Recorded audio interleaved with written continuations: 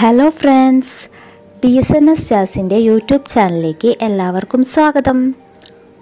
അപ്പോൾ നമ്മുടെ ഇന്നത്തെ റെസിപ്പി എന്ന് പറയുന്നത് ഒരു ഉഴുന്നുവടയാണ് കേട്ടോ വൈകുന്നേരങ്ങളിൽ ചായക്കൊപ്പം കഴിക്കാൻ പറ്റുന്ന ഒരു അടിപൊളി ഉഴുന്നുവട.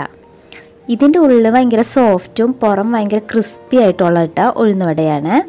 ഇഷ്ടമായിട്ടുണ്ടെങ്കിൽ എല്ലാവരും ഇതൊന്ന് ട്രൈ ചെയ്ത് നോക്കണം. അപ്പോൾ നമുക്ക് വീഡിയോയിലേക്ക് പോയാലോ?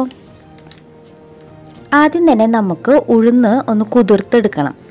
അതിനായി ഞാൻ ഈ ഗ്ലാസ്സിൽ രണ്ട് ഗ്ലാസ് ഉഴുന്നാണ് ഇടുന്നത്.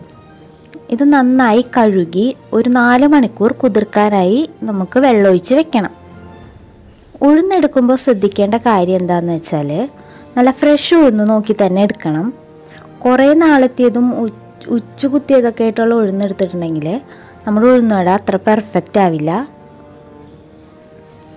ഇനി നമുക്ക് ഇത് കുതിർന്ന് വരുന്നത് വരെ ഒരു നാല് മണിക്കൂർ നമുക്കൊന്ന് വെയിറ്റ് ചെയ്യണം.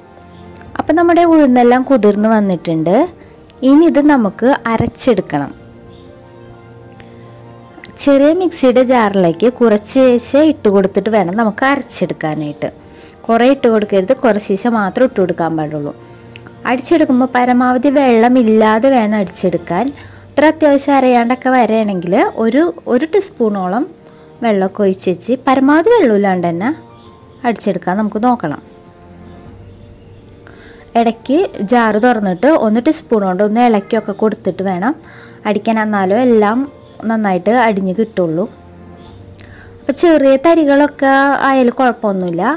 അപ്പോൾ നമ്മുടെ ഒരുവിധം അടിഞ്ഞ് വന്നിട്ടുണ്ട്. അങ്ങനെ എല്ലാം ഒന്ന് നമുക്ക് അടിച്ചെടുത്ത് വെക്കാം. ഇപ്പോൾ നമ്മുടെ എല്ലാം അടിച്ചെടുത്തിട്ടുണ്ട്. ഇനി നമുക്ക് കൈ കൊണ്ട് നന്നായിട്ടൊന്ന് മിക്സ് ചെയ്യണം. നന്നായിട്ട് അടിച്ചു കൊടുക്കണം. നമ്മൾ മിക്സ് ചെയ്യുന്നതനുസരിച്ചാണ് നമ്മുടെ ഉഴുന്നുവട പെർഫെക്റ്റ് ആവുള്ളൂ. ഒരഞ്ച് മിനിറ്റോളം ഞാനിത് മിക്സ് ചെയ്ത് കൊടുക്കുന്നുണ്ട് കേട്ടോ എന്നിട്ട് ഇനി ഇതൊന്ന് നമുക്ക് റെസ്റ്റ് ചെയ്യാൻ വെക്കണം. ഒരു അരമണിക്കൂറോ ഒരു മണിക്കൂറോത്തോളം ടൈം നമുക്ക് റെസ്റ്റ് ചെയ്യാൻ വെക്കാം. ഒരു മണിക്കൂർ വെച്ചാൽ അത്രയും നല്ലതാട്ടോ. ഇനി നമുക്കിതിലേക്ക് ചേർക്കാനുള്ളത് ഒരു ഉള്ളി ഒരു ഏഴ് ചെറിയ ഉള്ളി ഞാൻ എടുത്തിട്ട് അരിഞ്ഞ് വെച്ചിട്ടുണ്ട്. അതിട്ട് കൊടുക്കാം. രണ്ട് പച്ചമുളക് അരിഞ്ഞത് ചെറുതാക്കി. പിന്നെ കുറച്ച് കറിവേപ്പില അരിഞ്ഞതും കൂടി ഞാൻ ഇട്ട് കൊടുക്കുന്നുണ്ട്. കൂടാതെ കുറച്ച് കുരുമുളക് ചതച്ചത്. മെയിൻ ഇൻഗ്രീഡിയന്റ് ആണ് കുരുമുളക്. കുരുമുളക് എന്തായാലും ഇട്ട് കൊടുക്കണം. കുരുമുളക് ചതച്ചത്. പിന്നെ കുറച്ച് ഉപ്പ് ഇട്ട് കൊടുക്കാം. നമ്മുടെ ഉഴുന്നുവട ക്രിസ്പി ആയിരിക്കാൻ വേണ്ടി നമുക്കിതിലേക്ക് കുറച്ച് അരിപ്പൊടിയും കൂടി നമുക്ക് ആഡ് ചെയ്ത് കൊടുക്കാം. വേണ്ടവർക്ക് സാമ്പാർ പൊടി അല്ലെങ്കിൽ കായപ്പൊടി ഒരു ഇച്ചിരി അര ടീസ്പൂൺ മതി. നമുക്ക് ഇട്ട് കൊടുക്കണമെങ്കിൽ നല്ലൊരു ഫ്ലേവർ ഇട്ട് കിട്ടാം ഞാനിതിൽ ഇട്ട് കൊടുക്കണില്ല.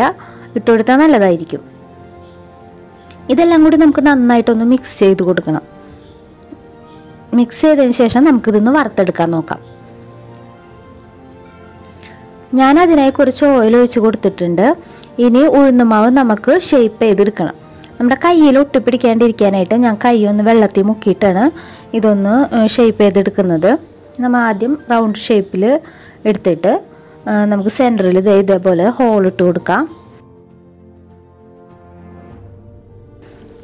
എണ്ണ ഇപ്പോൾ നന്നായി ചൂടായി വന്നിട്ടുണ്ട്. അപ്പോൾ നമുക്ക് ഇതിലേക്ക് ഓരോ ഉഴുന്നുവടയിട്ട് ഇട്ട് കൊടുക്കാം. എന്നിട്ട് കുറച്ചൊന്ന് കുറച്ച് ടൈം കഴിയുമ്പോൾ ജസ്റ്റ് ഒന്ന് മറിച്ചിട്ട് കൊടുക്കണം. അപ്പം നമ്മുടെ ഉഴുന്നുവട നന്നായിട്ട് മുരിഞ്ഞ് വന്നിട്ടുണ്ട്. അപ്പം നമ്മുടെ ഫുൾ ഫ്ലെയിമിൽ വേണം ഉഴുന്നുവട ഉണ്ടാക്കാനായിട്ട്. അപ്പോൾ ക്രിസ്പിയും ടേസ്റ്റി ആയിട്ടുള്ള ഉഴുന്നുവട നമ്മുടെ റെഡി ആയിട്ടുണ്ട്. ഉള്ളൊക്കെ നല്ല സോഫ്റ്റാണ് പുറം നല്ല ക്രിസ്പിയുമാണ് ഇത് ഇഷ്ടമായെങ്കിൽ എല്ലാവരും ട്രൈ ചെയ്ത് നോക്കണം. സബ്സ്ക്രൈബ് ചെയ്യാൻ മറക്കരുതേ. ലൈക്കും ഷെയറും ചെയ്യണം. അപ്പോൾ അടുത്ത വീഡിയോയിൽ കാണുമ്പോഴേക്കും താങ്ക് യു ബൈ